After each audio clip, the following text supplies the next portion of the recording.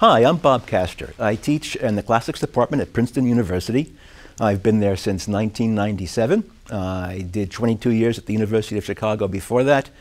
So I've been doing this a fair amount of time, teaching Latin, studying Latin language and literature, and most recently doing critical editions of Latin texts. I'm currently working on an edition of The Lives of the Caesars by Gaius Suetonius Tranquillus, a very important source for our knowledge of the early Roman emperors. So we're going to talk today about a critical component of producing a critical edition, which is the construction of the apparatus criticus, the critical apparatus, or appcrit as it's known to its friends. The apparatus criticus is the stuff at the bottom of the page. Why is it there? Well, it's there basically to present the data on which the edition is based. And we do that to accomplish two goals.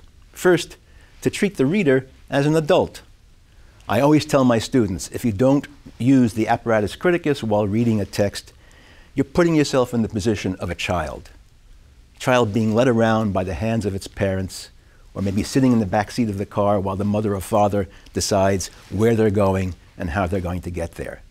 The apparatus allows the reader to be the collaborator of the editor and to test his own judgment against the editor's. And by doing that, the reader holds the editor accountable. The editor has to give a reason for making the decisions that he or she makes and to show the exact evidence on which that uh, decision is based. So, what kinds of data are involved in the apparatus criticus? Well, there are two kinds, basically, dependent upon direct and indirect transmission. In the first instance, there are manuscript copies that go toward making up the manuscript tradition. The tradition of texts that have been copied letter by letter, word by word, line by line by mostly anonymous scribes over the course of the centuries. In the second instance, there are quotations and references in other texts, including excerpts in anthologies. Uh, in the case of Suetonius, again, there were two points in the Middle Ages, once in the 9th century and once in the 12th, when rather than copy the whole text, someone decided, hey, I'm going to make selections of Suetonius's greatest hits, a kind of Reader's Digest condensed version of the, uh, of the lives of the Caesars. Then, if we move to the indirect transmission, there are citations and borrowings from the text that subsequent writers incorporated in their own works. Suetonius was an important source, as I've already mentioned, and later Roman historians working in late antiquity and the Middle Ages quoted from him, referred to his text, borrowed from his text, and it's often these quotations and borrowings that are useful in helping us to decide matters of textual uh, uncertainty. And then there are other sources of data. Uh, for example, inscriptions on stone or metal.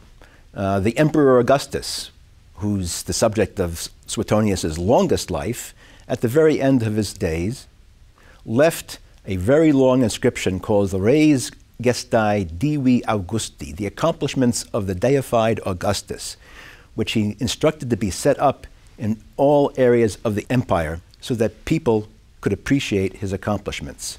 And it happens that Suetonius used that inscription as a source.